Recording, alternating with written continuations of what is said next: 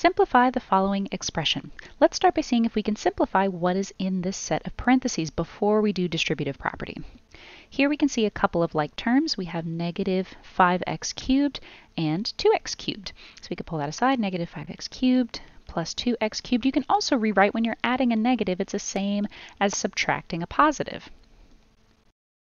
So this helps you visualize it a little bit better, 2 minus 5 or negative 5 plus 2 would both give us negative 3x cubed. So we can start to rewrite our expression 3 times negative 3x cubed. The next set of like terms, we could combine our negative 4x squared and positive 3x squared. Negative 4x squared, positive 3x squared. Again, you can flip these to look like a subtraction problem if that is helpful. Either way, you're going to get negative 1x squared, or just x squared, negative. Uh, so we can add that. And then the last two terms are uh, not like terms, so we can just bring them straight down. And now we can do distributive property much faster. So we will have 3 times negative 3, which will give us negative 9 x cubed. Then we'll have 3 times negative x squared, negative 3x squared.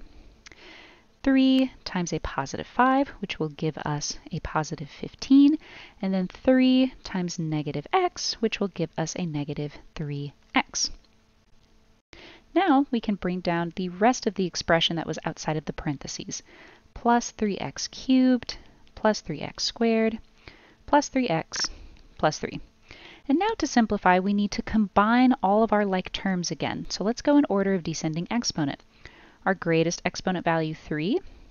We can rewrite to put those next to each other, so it's easier to combine like terms.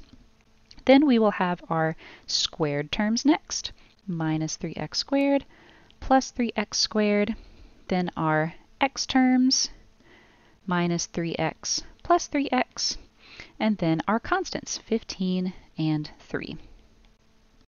Now a couple of these will cancel each other out completely because they are opposites. Negative 3x and positive 3x squared, and a negative 3x and a positive 3x. All of these are going to cancel each other out, leaving us with just two combinations to make. 9x cubed plus 3x cubed will give us negative 6x cubed. And then 15 plus 3 will give us 18. Matching answer choice B is our correct answer.